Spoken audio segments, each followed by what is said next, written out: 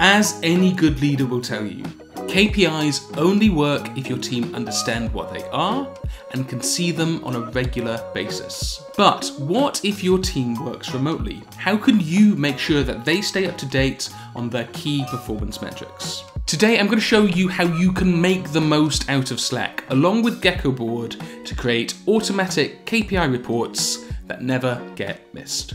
If you want your KPIs to get seen, then Slack is prime real estate.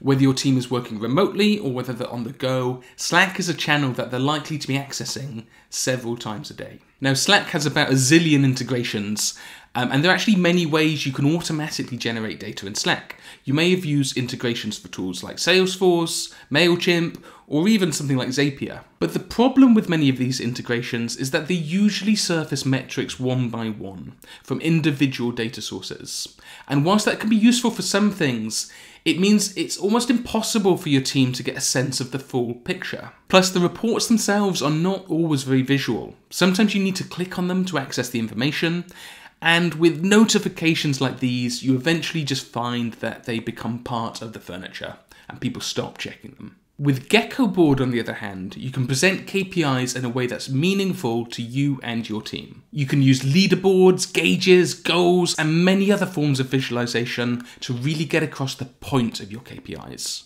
And because Geckoboard posts a snapshot of your whole dashboard to Slack, it just has more visual impact, and it means your team is more likely to pick up on key changes in the data. So let's find out how to set up Geckoboard for Slack. Step 1 Head over to geckoboard.com and sign up for a free trial with Geckoboard.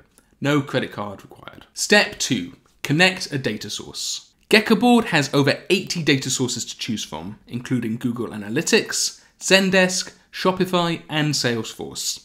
Plus, you can visualize metrics from spreadsheets and databases. Today, I'm going to be visualizing metrics from Salesforce and Google Sheets. Step 3 Build a widget. A widget is just a name for a data visualization. Here you can choose which metrics you want to visualize and how you want to visualize them, including by setting goals, comparisons, and status indicators. Step 4. Building up your dashboard. Continue adding widgets to build up your dashboard. As you can see, I've got some line charts, some number widgets. I've also used our image widget to include some images of the team to indicate who's responsible for which metric. Step 5 Connect your Slack account and schedule your snapshots. Connect your Slack account and select which days and on what time you want to post a snapshot of your dashboard. Your snapshot will automatically appear in your chosen Slack channel for all to see. And it's as simple as that. If you want to check out Geckoboard, just head over to geckoboard.com.